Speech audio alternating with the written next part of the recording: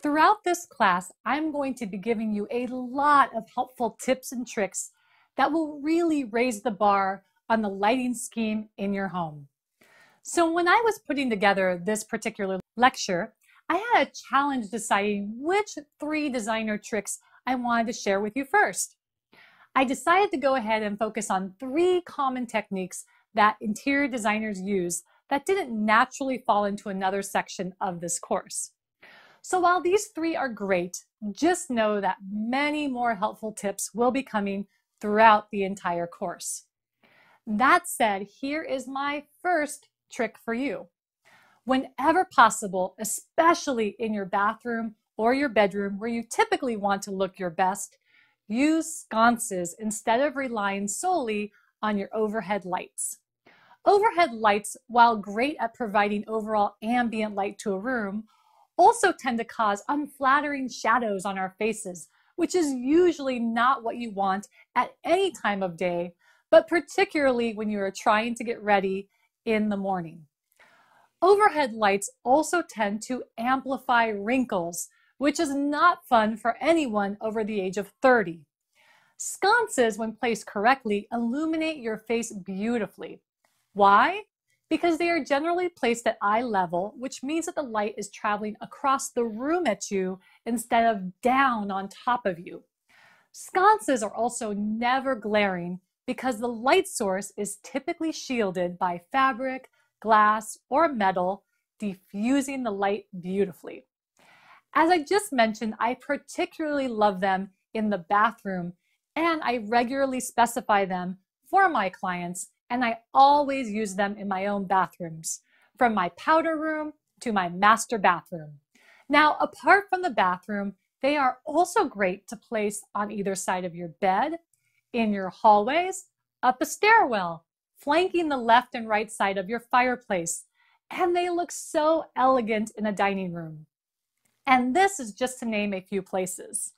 Sconces look great almost anywhere, including your kitchen which people often don't think about. One reason people may shy away from sconces is because they think it is going to be expensive to install them. But the labor isn't as much as you may think. And the cost for a pair of sconces is often less expensive than for a chandelier and is often in line with the cost of a table lamp. Now, for those of you who just can't or don't want to deal with the labor involved for installing hardwired sconces. They do make plug-in sconces as well. Although not my favorite because I'm not a fan of visible cords. However, they still can be a great option for many. And many people aren't bothered by the cords like I am.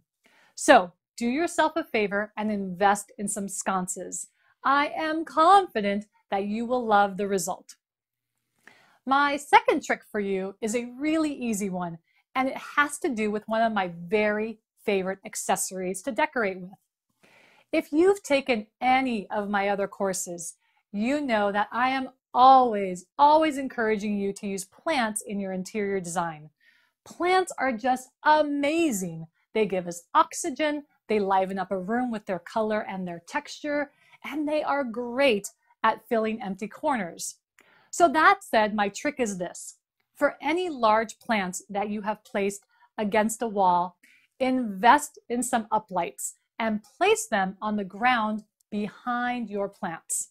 They will make the plant in your room appear so dramatic in the evening, and these uplights are so affordable, at least in the US. You can also find lights that come on stakes that you place in the soil of your plant to shine upward through the leaves and these work great as well, as long as your plant has some height to it. Try this out and then invite some friends over, and I am certain that you will get some appreciative comments. I know that I do. Okay, last but not least, my next trick is a great one when you are trying to maximize natural light in a room that is on the dark side for whatever reason. And the trick is this. Place a mirror opposite your window and then watch the light bounce around your room. And go for a big mirror. The bigger, the better. Mirrors naturally reflect light on their own, but when placed opposite a window, they just shine. This is such an easy but often overlooked technique by most people except designers. We know how cost effective and easy this is to do. So give it a try. And there you go, three of my favorite lighting tricks that you can use in your own home to improve the way your home looks, add some drama, and to maximize light. Enjoy.